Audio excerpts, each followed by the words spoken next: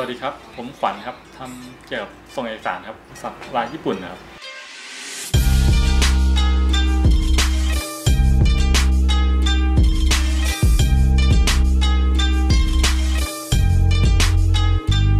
จะให้เชื่อมต่อกับมังกรเนี่ยครับจะได้เข้ากันรายแรก ผมได้ได้มังกรตอนแรก ก็จะเป็นออกงาน ญี่ปุ่นจีนจีนผสมจีนจีนเพราะว่างานที่จะสักเนี่ยมันจะต้องไปเชื่อมกับกับงานเก่าเขางานเก่าเขาจะออกเป็นญี่ปุ่น ญี่ปุ่นจีนจีนก็เลยจะหารูปที่มันแบบว่าสอดคล้องกัน แล้วก็สามารถต่อกันแล้วดูแบบแปลกไปอีกแบบ แต่ว่าก็ยังสอดคล้องกัน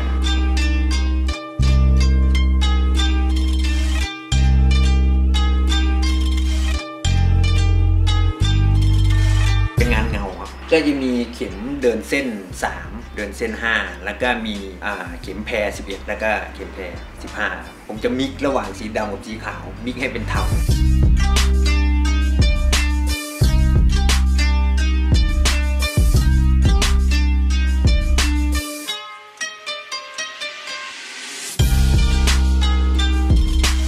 เหมือนสักไปแล้วมันยังไม่พอครับเหมือนมันน้อยเกินไป แล้วก็เริ่มสักเป็นตัวภาษาจีนเป็นนามสกุลอีกลายก็เป็นลายกราฟิก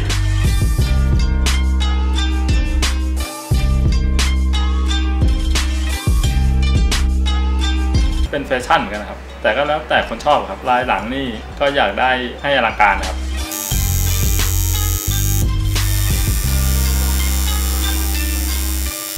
ในอินเทอร์เน็ตมีได้รับรางวัลอย่างเงี้ยครับก็มีการันตีความสะอาดความปลอดภัยรายแรกที่เริ่มสักอายุเท่าไหร่ครับ ยุคประมาณ 25 ครับผมตอนแรกผมก็ของผมก็กลัวพ่อแม่ว่าเหมือนกัน ตัดสินใจสักดีกว่าพ่อแม่ยังไม่รู้